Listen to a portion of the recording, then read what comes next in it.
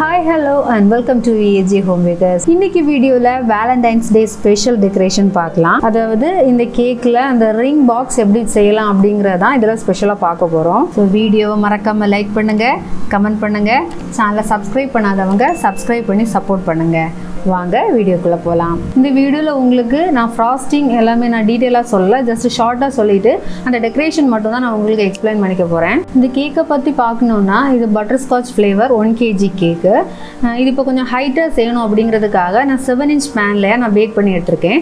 அப்போ நமக்கு இதில் வந்து ஃபோர் லேயர்ஸ் கிடைக்கும். பட்டர்ஸ்காட்ச் ரெசிபி வீடியோ நான் ஆல்ரெடி அப்லோட் பண்ணியிருக்கேன். லிங்க் டிஸ்கிரிப்ஷனில் கொடுக்குறேன். பார்க்காதவங்க பாருங்கள் இந்த கேக்கோட டாப் பாட்டம் அப்புறம் சைடில் எல்லாம் அந்த கலர் சேஞ்சாக இருக்கும்ல அந்த போர்ஷன் அவ்வளோ அவ்வளோத்தையும் ரிமூவ் பண்ணி ஃபோர் பீஸஸாக ஸ்லைஸ் பண்ணி எடுத்திருக்கேன். எல்லா லேயர்லேயும் சுகர் சிரப் சோப் பண்ணிவிட்டு த்ரீ லேயர்ஸில் க்ரீம் அப்ளை பண்ணி அதுக்கு மேலே கேரமல் சாஸும் ப்ரொலைன்ஸும் போட்டுட்டு எல்லாத்தையுமே லேயர் பை லேயராக அடுக்கி எடுத்திருக்கேன். இந்த க்ரம் கோட் முடிச்சுட்டு ஃப்ரிட்ஜில் செட் பண்ண வச்சுட்டேன். இதுதான் இந்த கேக்கோட ஃபாண்டன் டெக்கரேஷன் செய்யலாம்.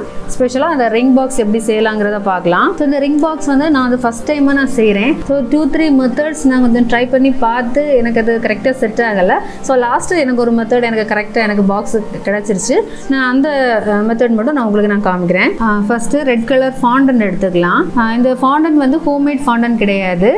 நமக்கு ஷாப்ஸில் போயாச்சுன்னா பாக்ஸில் வந்து கலர்ஸில் நமக்கு அவைலபிளாக இருக்கும். நான் அந்த ஃபாண்டன் தான் நான் வாங்கியிருந்தேன். தேவையான அளவுக்குள்ள ரெட் கலர் ஃபாண்டனை எடுத்துகிட்டு அதில் கொஞ்சமாக சிஎம்சி ஆட் பண்ணி நல்லா மிக்ஸ் பண்ணி எடுக்கலாம். இப்போ சிஎம்சி எவ்வளவு ஆட் பண்ணிக்கணும் அப்படின்னா அந்த மெஷர்மெண்டில் அப்படியெல்லாம் கிடையாது.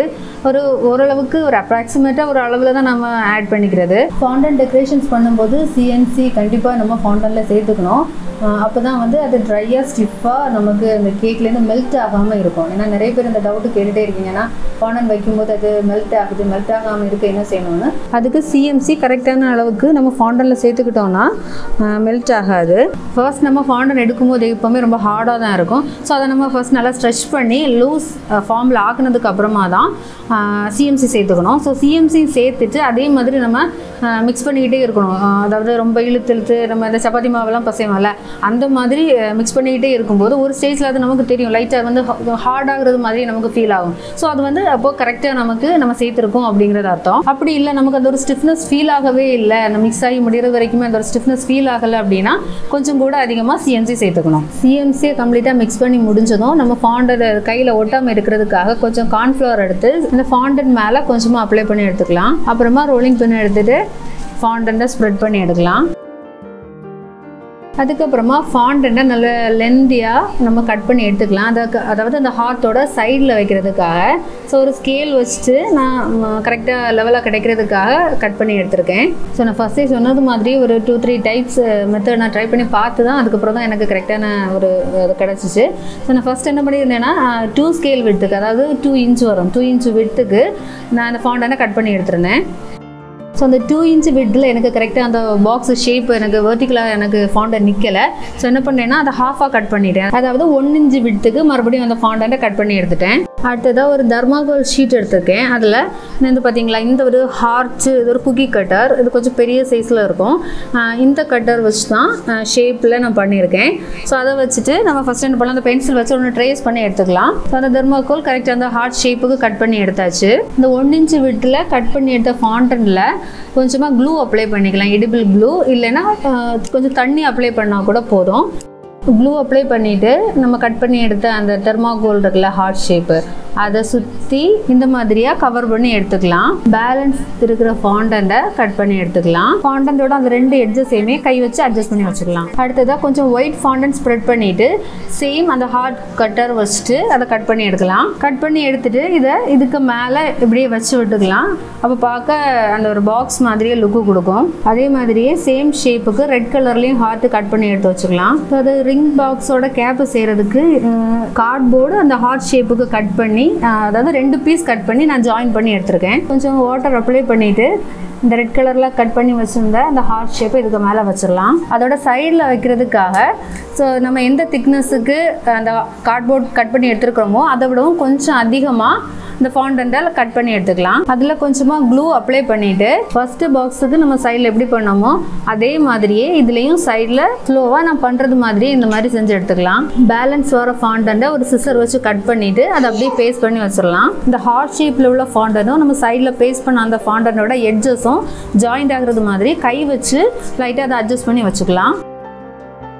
ரிங் பாக்ஸ் கவருக்கு மேலே டெக்கரேஷனுக்காக ஒரு சின்ன போ செஞ்சுக்கலாம். அதுக்காக சிலிக்கானில் இந்த மோல்டு இருக்குது சின்ன சின்ன குட்டி குட்டியாக அந்த போ ஷேப்பு நம்ம பண்ணுறதுக்காக மோல்டு இருக்குது அந்த மோல்டு எடுத்துகிட்டு அதில் கொஞ்சமாக ஒயிட் ஃபாண்டண்ட்டாக வச்சு நம்ம அதை ஷேப் பண்ணி எடுத்துக்கலாம். அந்த போ ரெடி ஆகிடுச்சு இதை அந்த கவர் மேலே கொஞ்சமாக க்ளூ அப்ளை பண்ணிவிட்டு மேலே வச்சுக்கலாம். அடுத்ததாக நம்ம ரிங் செய்யலாம்.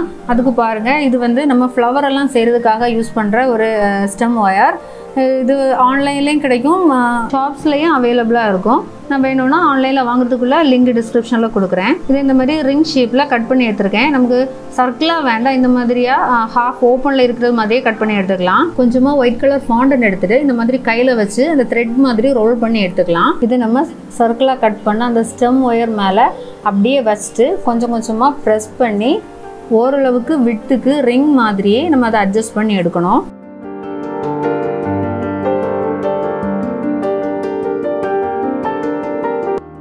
நம்ம செய்து எடுத்த அந்த ரிங்கில் இனி கோல்டன் கலர் கொடுத்துக்கலாம்.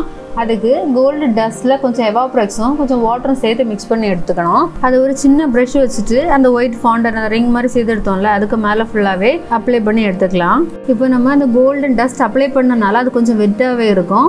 ஸோ அதனால அதுக்கு மேலே இந்த டைமண்ட் மாதிரி இருக்கிற இந்த ஸ்டோனை வச்சு விட்டுக்கலாம். ஃபர்ஸ்ட் நான் இந்த மாதிரி பிளெயினாக பண்ணுறதான் பிளான் பண்ணியிருந்தேன் அதுக்கப்புறமா சரி செய்தப்போ ஒரு மாதிரியாக இருந்துச்சு. அதனால் ஒரு ஸ்டோன் கூட வச்சு பார்ப்போம் அப்படின்னா வச்சப்போ அது ஒரிஜினல் ரிங் மாதிரியே இருக்குது பார்க்குறதுக்கு அடுத்தது அந்த ரிங் பாக்ஸ் எடுத்துகிட்டு அதில் மெதுவாக வச்சு விட்டுக்கலாம் நான் பாட்டம் வந்து ஓப்பனாகவே கொடுக்க சொன்னது இதனால தான் நம்ம சர்க்கிளாகவே பண்ணோம் அப்படின்னா அதில் உள்ள வைக்கிறது கொஞ்சம் கஷ்டமாகவே இருக்கும். இது ஓப்பனாக இருக்கும்போது ரெண்டு சைடுமே நமக்கு இன்சர்ட் பண்ணுறதுக்கு ஈஸியாக இருக்கும். நான் ஃபர்ஸ்ட் ரிங்கில் காட்ட மறந்துட்டேன். இங்கே பார்த்தீங்களா இந்த மாதிரி ஃபர்ஸ்ட் ரெண்டு ஹோல் போட்டுக்கணும். ஹோல் போட்டுட்டு அந்த ரிங் உள்ளே வச்சா ஈஸியாக இருக்கும். செகண்ட் ரிங்கை அதில் வச்சுக்கலாம்.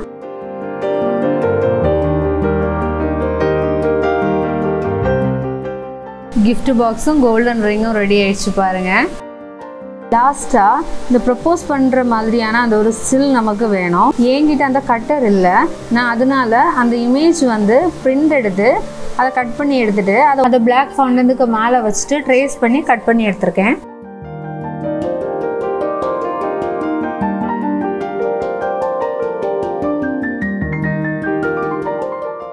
இந்த ப்ரப்போஸ் பண்ணுற அந்த ஷேப் பாருங்க. ஃபாண்டலில் நமக்கு நல்ல கிளியராக கரெக்டாக கிடச்சிருச்சு. கேக் ஐசிங் முடிச்சு எடுத்தாச்சு. இனி இதை ஓவனா டெக்கரேட் பண்ண தொடங்கலாம். கேக்கோட ஃப்ரண்டில் அந்த போர்டு கொஞ்சம் அதிகமாக ஸ்பேஸ் விட்டுருக்கேன் அந்த நேம் வைக்கிறதுக்காக. ஃபர்ஸ்ட்டாக கேக்கோட பாட்டமில் ரெட் கலரில் ரிப்பன் கொடுத்துக்கலாம். கேக்கோட ஃப்ரெண்ட்ல இந்த ரெட் கலர் ரிப்பன்லேயே ஒரு போ செஞ்சு வச்சுக்கலாம். நம்ம இப்போ வச்சு அந்த போவுக்கு மேலேயா அந்த ப்ரப்போஸ் பண்ணுற அந்த ஸ்டில் இருக்குல்ல பிளாக் கலர் ஃபாண்டன் அதை அப்படியே மெதுவாக வச்சுக்கலாம். இந்த ப்ரப்போசிங் ஸ்டில்ல இந்த ரெண்டு கையும் ஜாயிண்ட் ஆகிற இடத்துல ஒரு சின்ன ஹார்ட் கொடுத்துக்கலாம் ரெட் கலரில் அந்த ரெட் ஹார்ட்டுக்கு பேக்கில் கொஞ்சமாக க்ளூ வச்சுட்டு அதாவது எடிபிள் க்ளூ வச்சுட்டு நம்ம அதில் பேஸ்ட் பண்ணால் போதும். இது அந்த ரிங் பாக்ஸை கேக்குக்கு மேலே வச்சிடலாம்.